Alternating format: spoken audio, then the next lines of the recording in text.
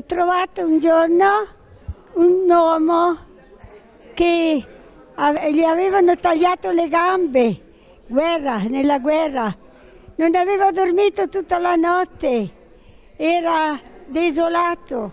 Sono andata a casa, gli ho portato tutte le coperte che avevo, quello che mi avevano regalato e lui l'ha messo. Allora lui ha detto io per ringraziare la Madonna, siccome c'è chi da Nemeret è chiamata la Madonna della Misericordia, fanno una processione, io andrò. Come fai ad andare con una gamba sola? Ci ho detto io che quell'altra.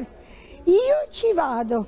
Sa che sei andato, ha preso la scopa, ha messa qua sotto, non so come ha fatto, però è stata per me una, una lezione che quando uno è grato a Dio è bello, è buono, perché l'ha fatto per ringraziare la Madonna.